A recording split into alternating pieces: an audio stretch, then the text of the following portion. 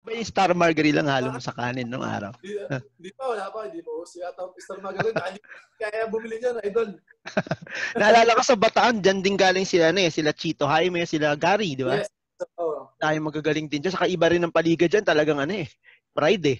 Kasi kalaban nyo, mga katabi nyo, Pampanga, di ba? Olongo. Oo, yan. Grabe rin yun eh. Ay, tanong ko pala, no, ah, Raymond. So, nung nag-shift ka na nga from ah, volleyball papuntang basketball, so, sumasali ka ba sa mga liga nun, sa mga sa, mga malaro sa sa Bataan? Yes, doon ako nag-start na makilala nung third year ako eh. So parang medyo malaki yung improvement ko kasi talagang parang nahilig ko yung basketball parang every week yata. Parang Every tumatayo week, kami kasama yung mga ano kung sino-sino tumatawag sa akin. Minsan mga taga-ibang lugar na, sasama nila akong dumayo. So nung nung nahilig na talaga ako noon, talagang alam mo yun, um, alam ko sa sarili ko na pwede pala ako mag-excel sa basketball kahit malaki lang kasi puhunan pag malaki ka eh, di ba? Oo, totoo yun. And sabi mo kanina, banggit mo si Kirby, Kirby Raimundo to, no? Yes, yes, yes, yes, yes. Si Kirby, oh, malaki rin kasi si Kirby. So, yun lang. Oh, so, sana pagpatuloy mo lang kasi nakita ko talaga nung naglaro ka na hurting ka dun sa after ng injury mo nung January. Ah, happy ko, grabe naman si Raymond. Yung iba ipapahinga na to, pero siya, nilaban niya pa talaga. Salamat, No? sir. Salamat, sir. Salamat, salamat. Thank you, thank you. Dapat sa, Salamat din. dapat nasa iyo yung nakatatak yung never say die eh. Nung Sana kung medyo hindi na injury, medyo maganda laban. Yun ang gusto ko dun eh. Actually, yun nga yung ano ko eh, sabi ko nung nawala si Raymond. Hinebra, pag ano, yung batang Hinebra. Kasi hindi ako min sa basketball dati. Nakikita ko na maglaro Hinebra, yung mga lolo ko. Sabi ko nga sa interview dati sa sa Sports 5 na na masaya na ako na makakalaban yung Hinebra. So parang pinaka-sweet moment ko na siguro makuha yung trophy. Siyempre ako, as a player, gusto ko makuha yung championship. Pero makalaban ko yung yung mahal na gusto ng team ng lahat. Iba pride yun eh. Diba? Masarap. Parang hanggang ngayon, pag nararamdaman ko, kasi first finals appearance ko sa Hinebra yun eh. Matagal kong pinangarap yun na makalaban yung Hinebra sa finals. So, sobrang gustong gusto ko na makabalik. Sana sa susunod na championship namin. Kami, para maka, ewan ko, kung makakabawi kami. So, Oh, grabe yun. Ano? Kababayan mo nga pala si Kirby, no? Orion din siya. yes, yes. Kasi ano ko siya, ah, long lost cousin ko siya.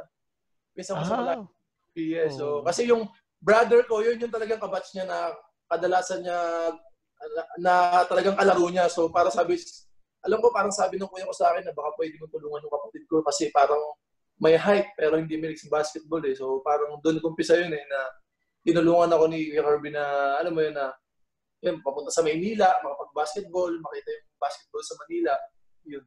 binigyan ka rin niya ba, ah, ni Kirby ng advice tungkol doon sa injury mo kasi 'di ba halos doon din natapos yung career niya eh nung nagkaroon siya ng injury sa tuhod eh. Yes, kasi every time may mangyayari sa akin, nag- nagme-message sa akin niya or kinakamusta niya ako. Tama yun, sinasabi niya na sa akin na bata pa ako, huwag akong pakinaan kasi lahat naman ng mga nangyayari may dahilan. So, hindi ko na lang inisip na pabigat sa akin itong tuhod ko. Inisip ko na lang na parang tapilok na gagaling ka din, basta tsagaan mo lang, huwag kang mapagod, huwag kang, ano, alam mo yun, huwag kang, sus- huwag kang, huwag mo sabihin sa sarili mo na hanggang dito ka na lang. So, para sa akin, hindi pa, it's time to, not, ano, it's not time to give up pa para sa akin. Grabe yun.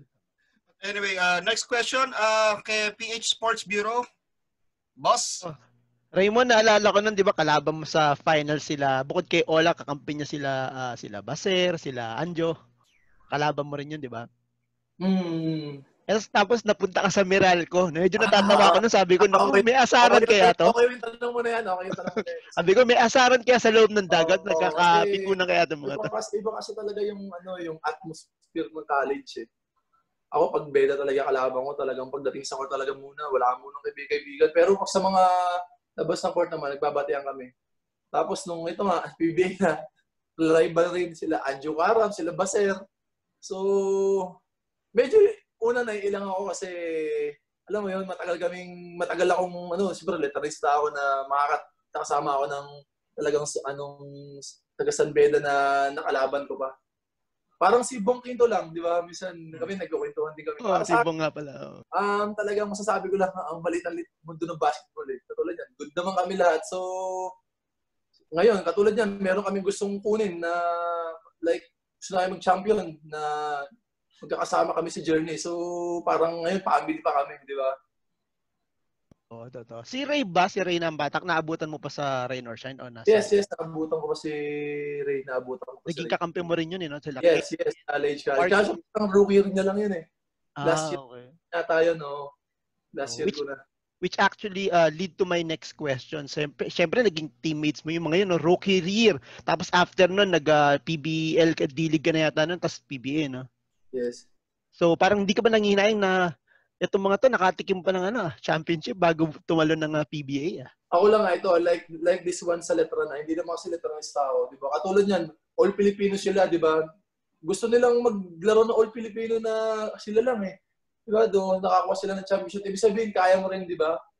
Para sa akin yun. yun. Oo. Yun yung dalawa yung uh, import yata ng Beda ng Oo, time kaya ako, isipin mo ako, nang hinayang ako kasi this, nung nag-champion sila, wala naman silang kasing laki ko ng 6'8 eh. That time, 6'7. Nababantay kay Ola, di ba? Mm. Oo. Na, wala talaga eh, kasi nanonood ako ng final, sabi ko, grabe yung mga puso ng bata na to kasi wala akong kasing laki sa kanila eh. Grabe, Diba? no? Ako kasing laki, parang babantay kay Ola dati, sobrang nandiyon na nga ako, may meron pa kaming Velorio, may force pa kami, hirap na hirap pa kami, di ba? Samantalang sila, kaya proud ako sa mga ganyan na kahit na nasa pro na ako yung mga college player na champion ng college, uh, proud ako dyan kasi na um, at least kasi minsan na sa buhay natin yan ako talaga ako babalikan ka talaga tapos um, gusto ko maglaro ulit ng college kahit isang beses para alam mo yung kumuha ng championship Ito, ito, next question, PH Sports Bureau. Ah, Sir Raymond, ah, take us back doon sa China game nyo kung saan nag-umpisa nga yung bansag sa'yo na Al-Maslam. Ilang beses mo dinakdakan ng harap-harapan yung mga Chinese eh. And ah, naalala ko yun yung pinaka-favorite ko talaga na play doon, di ba? Ah, Yes. Yung napasahan ka ni ah, The Blur, tsaka yung ah, meron ka pang reverse dunk eh. yes Ganda ng dunk mo nun eh. Uh, Tapos, mm, feeling ko nun talagang iba yung ano ko nun, eh. iba yung ano ko nun talaga kasi nasa nasa world stage tapos first time ko. Tapos China pa makakalaban talaga. Gusto gusto ko mga makalaban China kasi pag nanonood ako ng mga laban ng Gilas, di ba? Talagang hirap na hirap tayo. Talaga. oh, Sabi ko, sabi ko ano, ayos ko pagkakataon na to talaga. Sabi ko parang Sige, sabi ko, give, give ko na lang yung best ko. Sabi ko, para sa bayan na lang to, para sa bayan. So, yun. eh, lumabas yung, alam mo yun. Ang ganda, ang ganda ng mga dakdak. Favorite play ko yun, eh. naalala ko nga eh, pagkatapos ng laban nyo, di ba, ang taas ng moral ng team, pasok kayo sa dugout, tapos naghihintay si Calvin kasi na-eject eh, no? Kinukwento ko yung dakdak mo eh, kung paano mo ginawa eh. Oh, No? grabe, ano, grabe, sobrang saya sa akin. Doon ko naranasan na kahit na iba-ibang team kayo sa, sa, sa Gilas, talagang masaya sila para sa iyo eh. Mga, ti- mga teammate ko, nakita ko sila na sinasabunutan nga. Parang gusto nila ako sa bunutan kahit kalbo ko eh. So, so that time, sobrang yung first, ano ko, first um, Gilas ko, um, best moment siguro. Anyway, uh, medyo wrap up na natin yung Gilas and ngayon medyo free for all tayo. Kahit anong anything goes na, ta- na tanong tayo ngayon. Unahin natin PH Sports Bureau. Ah, Raymond, naalala ko nung, ah, nung lockdown, nag-post ka, sabi mo ano eh, ah, sa basketball may batas eh, di ba? Pag sinabi ni.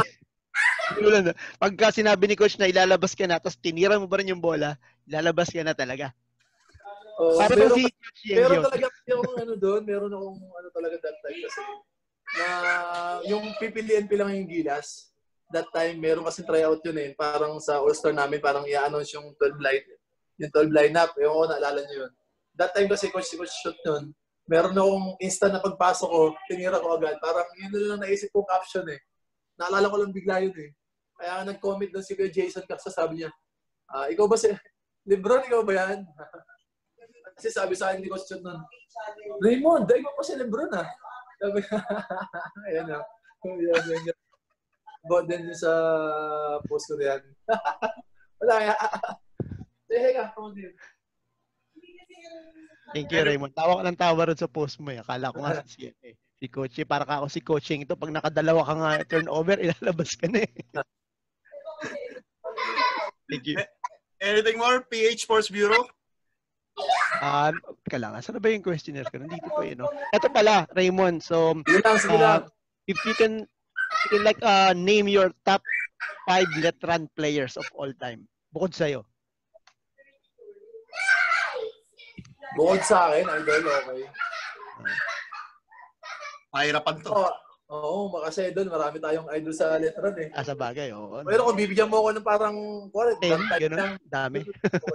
Huwag naman yung mga 70s, 80s kasi hindi, wala pa ako nun eh.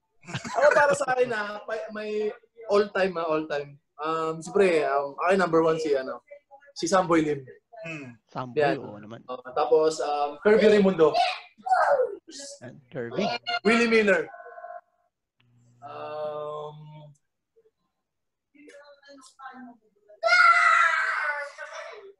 Sino pa ba? Para sa ang- Iniisip ko yung pangatlo eh. May pang-apat na ako, di ba?